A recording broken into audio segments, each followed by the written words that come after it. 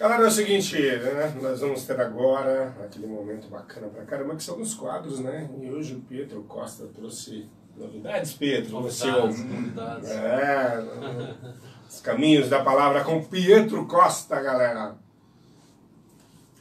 Bom dia, eh, ouvintes, bom dia, e, queridos companheiros né, da Academia Cruzeirense, Tatiana, é, muito bom dia, prazer recebê-la aqui no, no estúdio. Né? Bom, pessoal, é, esse, no- nas últimas oportunidades a gente falou bastante sobre os gêneros literários, né? tipos, subtipos, né? É, e o- no último, o, o estilo, né? O estilo que é, é, a identidade do, do autor, né? Co- Como ele, ele, ele é conhecido, reconhecido e se apresenta para o seu público, né? É, o- é o estilo literário que acaba sendo realmente consequência de anos de estudos, né? Da, do manejo de várias técnicas da própria vivência do autor. Então, isso vai, mar, vai marcá-lo é, com, com, com o seu estilo. Né? Então, o Manuel Bandeira vai ter um estilo próprio, a Clarice Lispector, né? o, o Eliot e vários outros autores. Né? E hoje eu quero falar é, especificamente sobre a voz do escritor. Né? Para tanto, a- a principal referência, Alfred Álvares, né? a voz do escritor. Alfred Álvares ele é um poeta, romancista e crítico literário inglês. Né? É uma obra bem interessante, leve, né? e até um, trazer uma curiosidade para vocês, eu tenho um poema, até já, já recitei, né? inspirado é, na- na- nas lições no, no, no legado de Alfred Álvares, né? que, é, que é um poema que eu recitei no, no Clube do Choro é, ao pé da letra. Né? Uhum. Só que é, a, a versão original é diferente. Eu fiz um, uma versão alternativa para performance né, oral, de, rec- de recitar. Né? E na, eu tenho uma versão em escrito e eu, quero, eu vou começar o quadro de hoje recitando esse poema. Né? E por conta disso é inédito, né? porque a versão original eu nu- nunca tinha recitado. E ele traz um pouco a, a ideia da voz do escritor. O que, que significa isso é, na linha de, de Alfred Álvares, né? Onde é que eu coloquei aqui? Vou achar agora. Quando você acha, eu posso mandar um. Pode, claro, claro. Bom, galera, é o seguinte, Marina Mara, obrigado aí, grande Marina, saudades de você, queremos você aqui, viu? No nosso programa também. Sebastião de Oliveira Martins, parabéns, obrigado, querido, parabéns a você aí que nos assiste sempre, nos prestigia com tanto carinho, entendeu? E vamos lá, galera. Ao pé da letra. Tanto a poesia como também a prosa é verbosidade sem sentido e objetivo. É sujeito ocultado, adjetivação inócua, se não reverberar seu invulgar ritmo, se não abrir os ouvidos e notar, se não der voz e empoderar a presença que há luminosa por trás das palavras postas. A musicalidade ecoa na posição das vírgulas, na textura da voz e interpretação equilibrada, na emoção apresentada sem dourar a pílula. A musicalidade ressoa no respeito ao texto. Deixe que ele dance, pense, fale, não cale, e assim você será o maestro do concerto. Né? Então, é um singelo poema inspirado em Álvares. Né? Uhum. É, a, a voz do escritor é aquilo que vai definir a essência, a sua essência. Né? É, o Álvares coloca dessa forma, a, a voz autoral ou a voz do escritor, ela define a essência do escritor. Né? Cons- Seria, desculpa aí, Sem problema, rápida. Seria no, no- na questão dessa essência, o estilo que ele acaba adquirindo, essa propriedade, que nem quando você vê, é, você lê um, um poema do Drummond, mesmo que não esteja assinado ainda Drummond, você não viu, mas você sabe que é dele pela, por essa essência, por esse estilo ou Então, não? segundo, é, é aproxima, aproximadamente o estilo, mas segundo Álvares vai além do estilo, porque a voz ela é ainda mais específica, que você vai reconhecer mesmo o autor, é, é, porque o estilo ele vai é, ele vai agregar muitas influências, né? Uhum. A voz do escritor é algo mais específico mesmo, né? Entendi. A voz do escritor. É, é, O que, que ele coloca? A voz do escritor considera o valor literário da escrita de um autor de acordo com sua trajetória enquanto leitor e escritor no processo de construção da sua própria voz autoral. Né? Ele coloca, bem interessante esse, essa, esse excerto aqui, né? É, é, que, que a gente transcreveu. O escritor descobre essa relação estranhamente revigorante e libertadora entre a realidade física e o prazer estético, quando encontra sua própria voz. É o que destranca cadeados, abre as portas e lhe permite começar a dizer o que ele quer dizer. Mas para encontrar essa voz, ele precisa antes dominar o estilo. E o estilo, nesse sentido, é uma disciplina que se pode obter por meio do trabalho árduo, como a gramática e a pontuação. Né? Então, é, o estilo ele vai ser uma consequência do, do, do, da maturação do autor no desenvolvimento, no domínio das técnicas, né? das suas pesquisas. Né? Acaba então ele se tornando com essa voz aquela coisa bem, bem única, bem. né? É a presença do autor no Presença, texto, a voz expressa o autor. Entendi. Né? Interessante. né? É, é, é algo bem interessante mesmo. Ele coloca mundo interior rico e acessível. Né?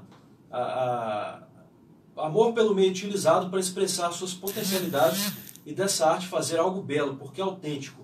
Então, ele, ele frisa muito essa questão da autenticidade. A voz do escritor vai expressar o escritor na sua autenticidade, na sua essência mesmo. Né? Enquanto é, é, escritor mesmo, né?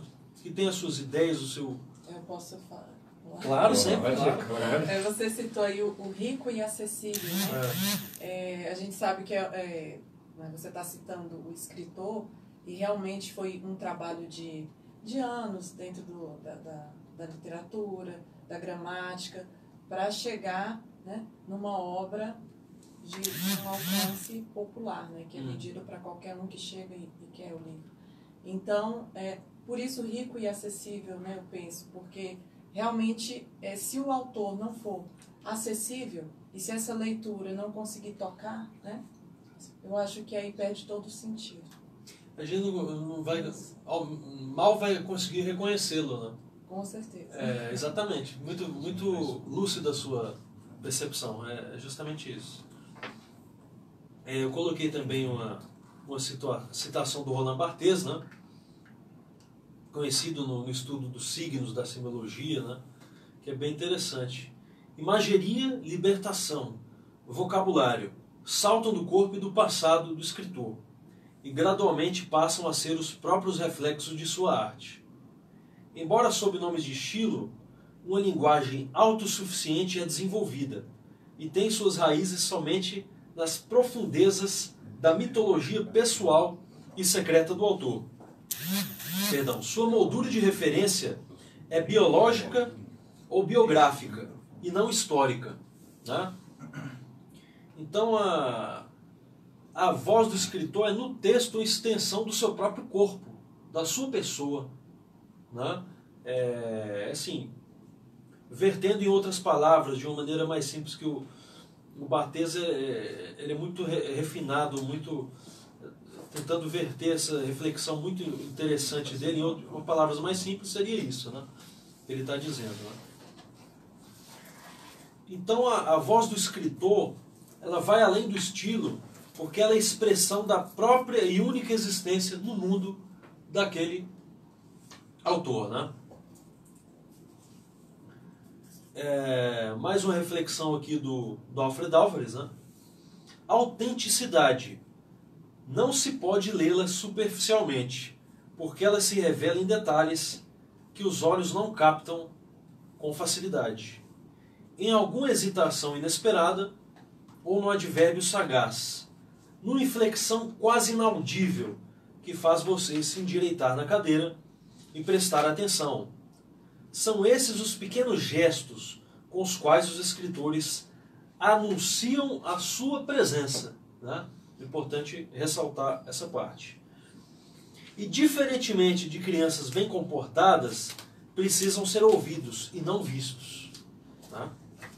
A verdade está na voz, e somente sintonizando-a você saberá se está ou não sendo manipulado. Né? Então, uma reflexão que a gente faz a partir dessas leituras e das próprias ideias defendidas por Álvares. Né? A voz tem o peso de uma vida inteira por trás de si.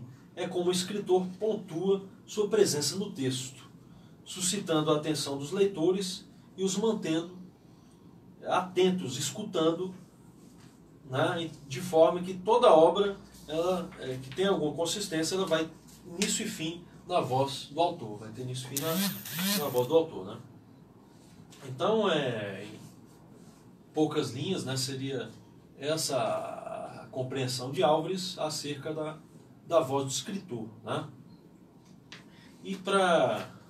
Como é que estamos de tempo? Rapaz, como nós estivemos. Estou chegando no finalzinho, né? Você vai falar da coisa também? Manda rápido, diminui um pouquinho, porque pode falar mais um pouco. Pode falar. Uns dois minutos aí. Ah, tá? Tá? Então, assim, é, para finalizar, é, a questão de. Por uma questão de rigor né, terminológico, que eu acho que é importante, né? A voz do escritor não é sinônimo de voz do narrador. Né? Importante a gente estabelecer de forma bem clara a, cari- a característica de uma e de outra. Né? O narrador, é, quando o autor ele, ele é, a- adota como per- um personagem, né, encarna um personagem para nos guiar ao longo da história. Né? Então, é uma terceira pessoa, uma entidade abstrata. Né? Agora, esse narrador ele pode ter suas próprias opiniões. Né? Então, é interessante que o narrador ele pode adotar uma postura mais neutra ou mais intrusa mesmo. Né?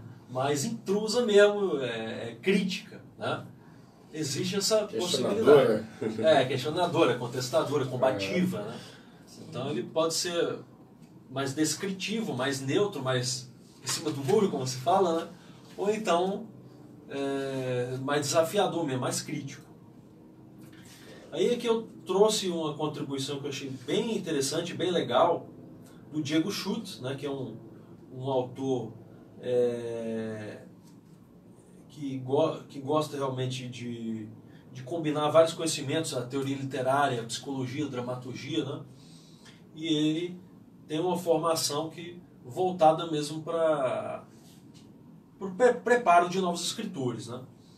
Então ele vai trazer é, o conto Feliz Aniversário, parte da coletânea Laços de Família, é, de Clarice Lispector, para deixar de maneira patente, bem visível, é, como que se configura essa questão do narrador. Às vezes ele é mais neutro, às vezes mais crítico. Né? É bem interessante, eu vou ler para vocês. Né? A versão, prestem um, bastante atenção na, na, nessa leitura, a versão original do conto. Né? A família foi pouco a pouco chegando. Os que vieram de Olaria estavam muito bem vestidos, porque a visita significava ao mesmo tempo um passeio a Copacabana. A nora de Olaria apareceu de azul marinho, com enfeite de paetês e um drapeado disfarçando a barriga sem cinta. O marido não veio por razões óbvias, não queria ver os irmãos, mas mandara sua mulher para que to nem todos os laços fossem cortados, e esta vinha com seu melhor vestido para mostrar que não precisava de nenhum deles, acompanhada dos três filhos, duas meninas já de peito nascendo, infantilizadas em babados cor-de-rosa e anáguas engomadas, e o menino acovardado pelo terno novo e pela gravata. gravata. A segunda versão, eu vou ler só um trecho, né? É, quando eles, quando o narrador fala da mulher, né? Mas mandaram a sua mulher para que nem todos os laços fossem cortados. E esta vinha, então eu vou continuar a partir daqui. E esta vinha com um de seus muitos vestidos caros, acompanhada dos três filhos, duas meninas já de peito nascendo, usando vestidos com babados cor-de-rosa e anáguas engomadas, e o menino pouco à vontade em seu terno e gravata novos. Então vejo que tem já um juízo de valor aqui, interpretativo, do estado de ânimo dos personagens, etc. O narrador já não é tão neutro, não é verdade? É Dá para perceber que ele desceu um pouquinho do muro, né? Não está totalmente no muro. E a Clarice tem muito essa coisa né, de colocar uns, uns narradores, uns personagens é, bem. É, eu, eu gosto bastante. A terceira versão vai descer um pouquinho mais, né? Vamos lá. Olha aqui, ó. Esse eu já vou ler na íntegra, porque ele vai mudar praticamente o texto todo. A família foi pouco a pouco chegando. Os que vieram de Olaria estavam extremamente bem arrumados, porque a visita significava ao mesmo tempo um passeio à maravilhosa Copacabana. Perceberam a diferença? Uhum. Né?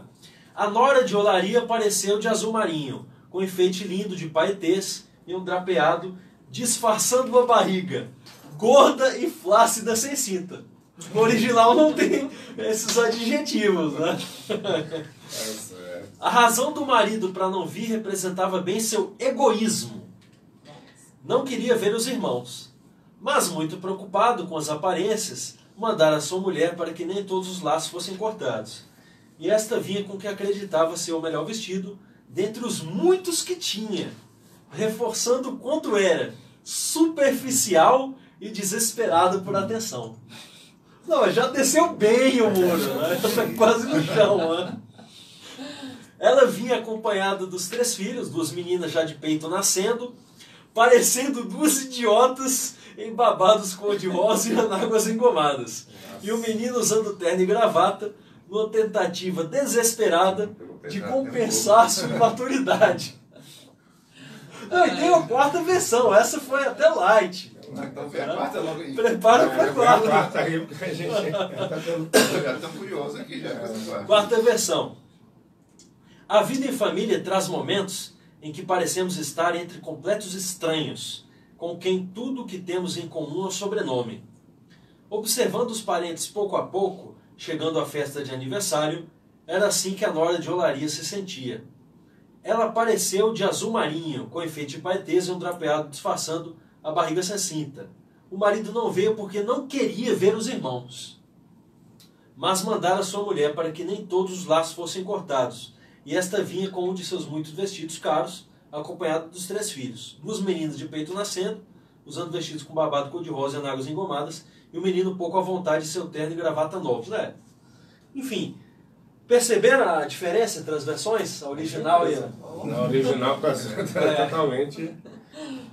Então, assim, é, é, nem sempre a voz do narrador vai ser a do escritor, porque o narrador claro. pode ser um, é um personagem que é criado, muitas vezes para. principalmente para guiar o, a compreensão do, do, da, da, história, mas também pode ter um artimanho ali para induzir o, leitor a um determinado conceito, né? determinada é, interpretação. A uma determinada interpretação. Né? E fechando aqui, né? só uma, uma, uma, um posicionamento crítico diante disso tudo. Né? É, o narrador, por exemplo, que descreve detalhes relevantes, que explica de forma excessiva o contexto da história, o, o, a própria a interação entre os personagens, né? É, tem, é preciso haver cuidado com isso aí, porque um dos maiores prazeres para o leitor é preencher as entrelinhas, é realmente ter um, um espaço para ele participar da história.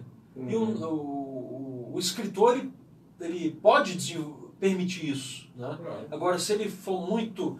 É, é, tiver muito essa coisa de, de querer conduzir, pode acabar roubando, privando o, o escritor de, de, de participar da história, de, é, preencher os espaços das entrelinhas com a sua imaginação, com a sua percepção, né, visão de mundo. Então, na mão de um escritor que sabe o que está fazendo, um narrador extremamente crítico pode dar ao texto um tom irônico ou engraçado, que pode funcionar, se a intenção for essa. Né? O importante é que o uso de um narrador muito intruso seja uma escolha consciente, né? e não uma tentativa velada do escritor de demonstrar sua inteligência e sensibilidade, ou é, apresentar suas opiniões e moralismos. Né? Então é muito interessante ver esse recurso que nós temos né, ao elaborar nossas histórias, nossos, nossos textos. Né? Esse recurso da, da narrativa. Né? Caminhos É isso, da palavra com Pietro Costa, galera. Gostaram? É isso aí, rapaz. O cara tá trazendo cada coisa interessante.